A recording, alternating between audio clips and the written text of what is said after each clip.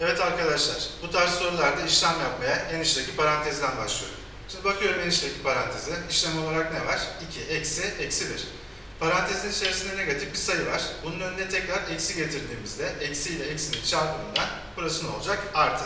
Yani buradaki işlem neye dönüştü? 2 artı 1. Dolayısıyla burayı kaç bulduk? 3.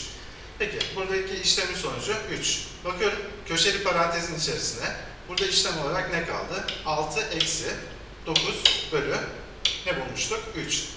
Peki bir çıkartma işlemim var. Bir de bölme işlemim. Öncelik hangisinde? Bölme işleminde. 9'u 3'e böldük. Buranın değeri 3. Daha sonra da 6'dan 3'ü çıkartıyorum. Bunun karşılığı da 3 olarak bulundu.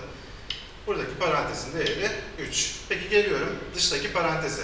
İşlem olarak ne var bakın? Bir tane bölme işlemi. Yani buradaki işlem 24 bölü 3 şeklinde olacak. 24'ü de 3'e böldüğümüzde bunun karşılığı kaç oluyor? 8. Peki burayı da 8 olarak bulduk. Soruya devam ediyoruz. 4 eksi 16 bölü. Elimizde ne kalmıştı? 8. Yani parantezin içindeki sayıları hesaplayıp 8 olarak bulduk. Daha sonra da ne yapıyoruz? 16'yı 8'e böleceğiz. Kaç oldu? 2. En sonunda 4'ten 2'yi çıkartıyorum. 4 eksi 2, 2 olarak bulunacak. Yani cevabımız D şıkkı.